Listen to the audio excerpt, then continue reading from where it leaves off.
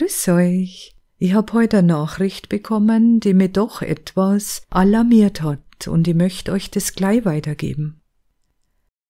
Eine Bekannte, die ich schon sehr lang kenne und wo ich ganz genau weiß, dass sie vertrauen kann, hat mir am Telefon erzählt, dass ihre Tochter in der Früh nach dem Aufwachen bemerkt hat, dass da ein fremder Gedanke in ihrem Kopf aufgetaucht ist.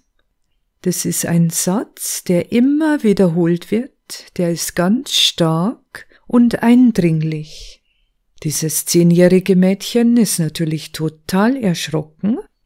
Da ist ein fremder Gedanke im Kopf. Aber das Kind war so wach, dass sie sofort erkannt hat, dass das nicht ihrer war. Und es war auch keine Stimme, sondern wirklich ein Gedanke. Und der hat gelautet, ich bin bereit, mich impfen zu lassen. Ich bin bereit, mich impfen zu lassen.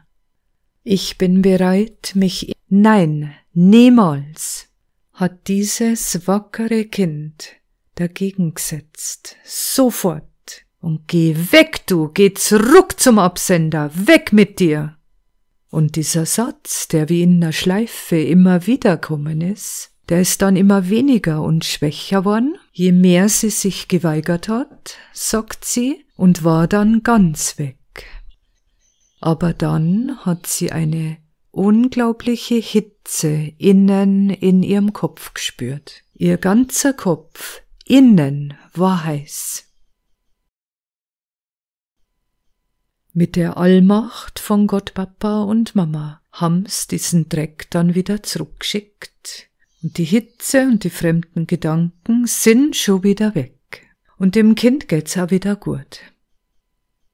Und ich erzähl euch das mit ihrer Erlaubnis, damit wir alle wissen, was grad läuft. Und der Satz, pass gut auf dich auf, bekommt jetzt nur ganz andere Bedeutung, gell?